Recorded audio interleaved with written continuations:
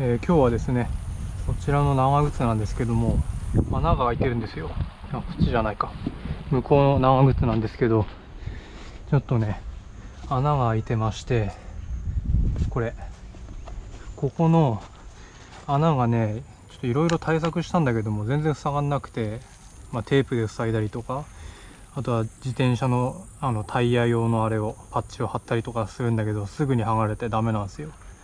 で今日ねホームセンターをちょっとうろうろしてたらこういうものが見つかってあ黒ゴム接着剤っていうほらこんなところには肉盛りが効果的って書いてて長靴のこういう穴開きを直すっていう風に書いてるんですよね。でちょっと試しに買ってみたんですけどもまあこれ1000円ぐらいしたんですけどもこれでね直ったら儲けもんですよね。でまあまずはここのねなんか前回あの補修し補修で貼ったテープとかが剥がれて汚くなってるからまずはこれを汚れ落とさなきゃいけないですね。普通に落ちないんだけどさ。ヤスリで削るか。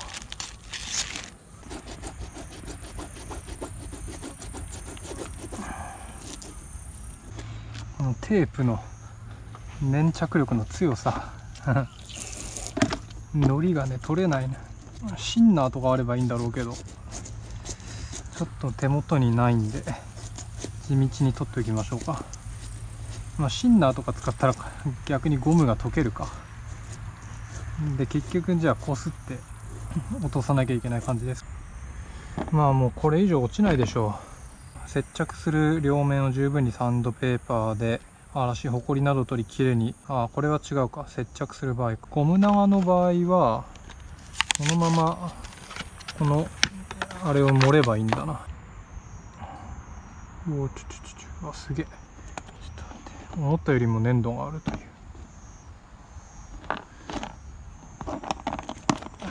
付属のヘラでこれを作ってこんな感じで肉盛りしていきます。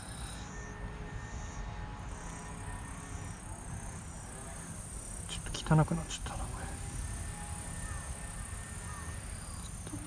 範囲広めに持って。OK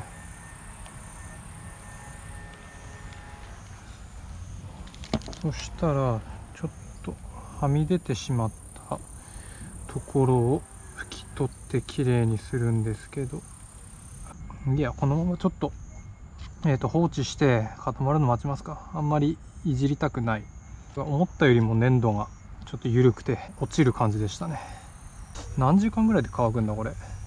時間は書いてない。とりあえず1日待ってみますかね。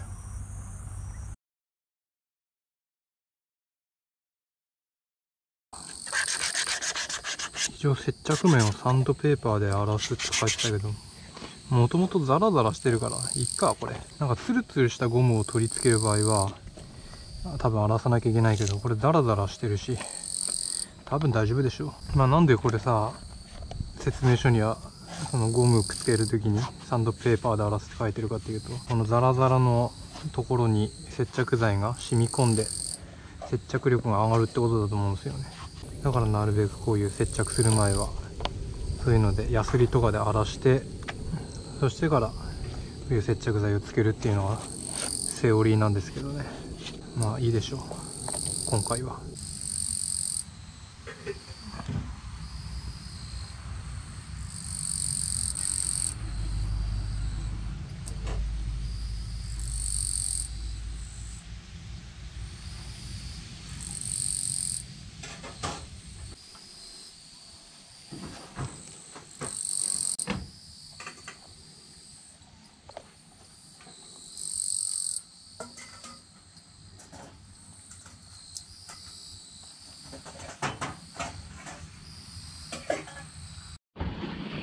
ね、ちょっと暑さでカメラが止まったんですけど、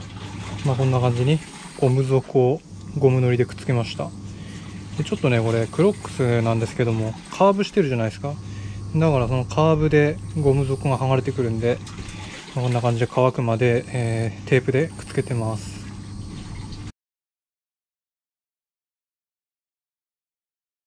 えー、補修してから3ヶ月ぐらい経ったんですけども、えー、こちらですね、え全然剥がれることなく普通に使えてます、まあ、当然水も入ってこなくていい感じなんですけども、まあ、今までいろいろ長靴の補修やってみたけどもやっぱこれ最高ですね。うん全然3ヶ月経っても問題なく使えてます。でまあこの長靴の次に今度サンダルを補修したんですけどもそっちの方はちょっとダメですね。剥がれてきちゃってますね。ていうかあのどっちの靴補修したかわかんないけども両方のこの底が剥がれてきてちょっとこれ履けない状態になってますね。あのさっき動画見返したんですけどもこれちょっと補修方法がダメでしたね。本当ならこのあの面をきれいに洗ってでその後ヤスリがけをしてで目を荒らした後にこのゴムのりを使うっていうのが本来なんですけどもそのヤスリがけしなくてそのまま貼っつけてましたね。だから次はヤスリがけしてちゃんと貼っつけてまたやってみようと思います。まあこれ大体値段にして1000円ぐらいなんですけども全然1000円で買う価値あると思いますよ、まあ、長靴買い替えることを考えたらこれでちまちま補修していけばね長長く使えるんでおすすめです。でまあ靴をきれいに洗ってでこうヤスリをかけてでこの表面を荒らした後に今ゴムのりを薄く塗ったんですよ。でこの説明書をよく見ると指にベトつかない程度過去12分乾かし貼り合わせ傷地で叩いて圧着するって書いてるんですよね確か前回は塗ってすぐ貼っつけた記憶があるんですけどもそれ間違いでしばらく乾かせとそしてから貼り付けなさいという話だったんですね。まあ確かになんか自転車のパンク修理する時もゴムのり塗ってパッチ貼るんだけども塗った後しばらく置いて乾かしてから貼るんですよね。で、それをね、焦って乾いてないうちにパッチを貼るとうまく接着がいかずに修理が失敗するっていう、本当その自転車修理と一緒だなと思いましたね。で、まあ、大体触った感じも指にベトつかない程度に乾か乾かしたので貼り合わせていくと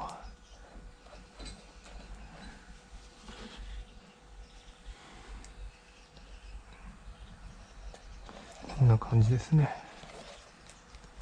そしたら傷地で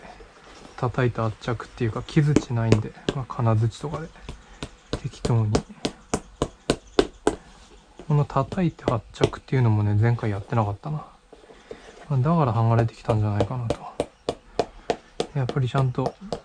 説明書通りにあのやらないとダメですね。